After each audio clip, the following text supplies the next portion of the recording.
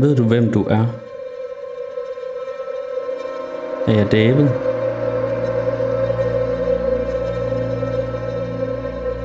Eller David Danmark?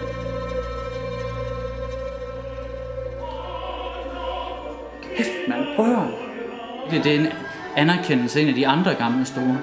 Og jeg elsker, når de store de anerkender hinanden.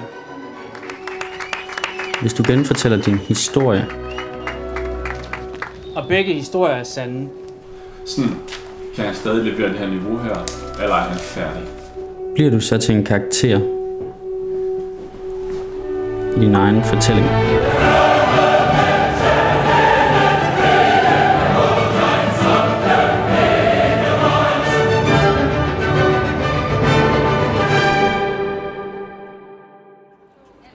Maybe I'm special, maybe I'm nothing.